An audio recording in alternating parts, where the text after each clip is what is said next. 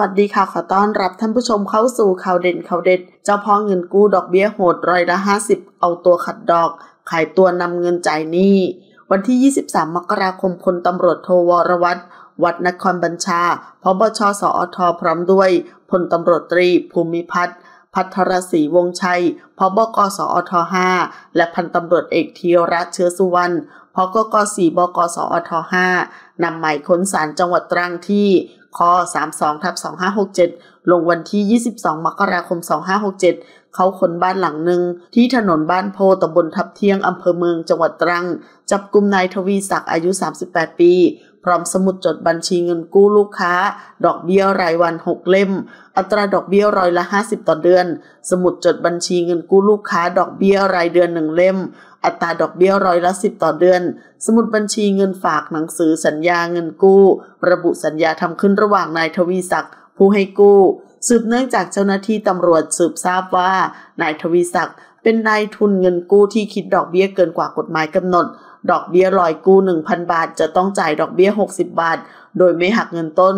ทุกวันจนกว่าจะคืนเงินต้นเต็มจำนวน ส่วนราย 30 วันกู้ 1,000 บาท จะต้องเสียเงินต้น พร้อมดอกเบี้ยวันละ 40 บาท ติดต่อกันทุกเดือนจนครบ 30 วัน ถือเป็นสิ้นสุด 1,200 บาท ราย 10 วันกู้ 1,000 บาท จะต้องเสียดอกเบี้ยต้น รวมดอกเบี้ย วันละ 120 บาทติดต่อกันทุกวันจนครบ 10 วัน ถือเป็นที่สิ้นสุด 1,200 บาท ส่วนรายเดือนคิดดอกเบี้ยร้อยละ10โดยใช้ Facebook ส่วนตัวในการโพสหาลูกค้า และคัดลูกค้าจากผู้ที่มีโปรไฟล์ Facebook ที่ชัดเจน มีจำนวนเพื่อนใน Facebook หลัก 100 คนขึ้นไป มีอาชีพและที่มาของรายได้ที่ชัดเจน จึงจะให้สินเชื่อ โดยผู้ให้กู้เป็นคนเขียนสัญญาแต่ฝ่ายเดียว รวมทั้งอัดคลิปวิดีโอ โดยให้พูดประโยคข้อความในการขอกู้เงิน มีสาระสำคัญคือ หากผู้กู้กระทำผิดสัญญา ไม่คืนเงินต้นหรือไม่จ่ายดอกเบี้ย จะยินยอมให้ประจานทางสื่อโซเชียล หรือดำเนินคดีกับผู้กู้ โดยไม่ฟ้องร้องหรือเอาความกับนายทวีศักดิ์บางรายถึงขั้นพูดว่าจะยอมให้ประจานชื่อพ่อแม่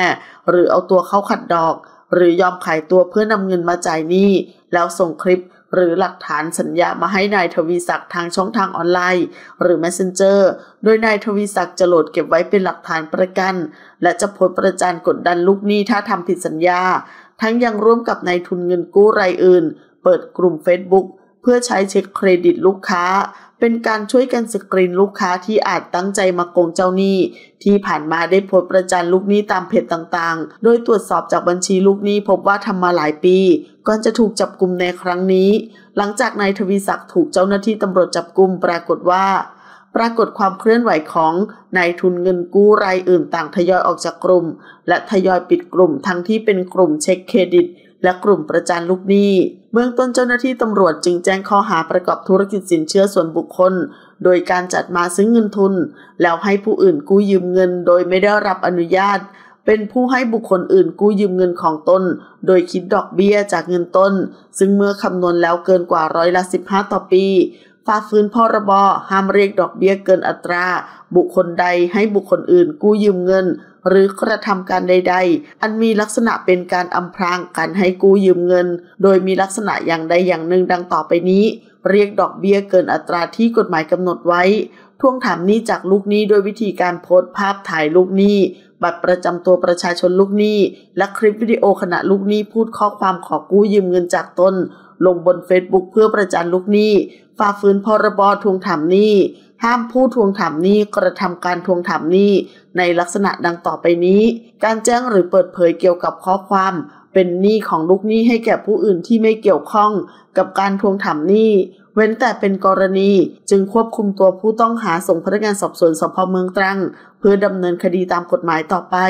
ขอขอบคุณข้อมูลจากข่าวสดขอบคุณค่ะ